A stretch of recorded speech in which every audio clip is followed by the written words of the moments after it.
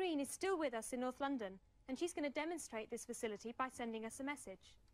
Hello, Pat. Hello, Jane. And now would you like to send us a message? Yes, I will. And I should be able to get the same message now on my screen. That's right.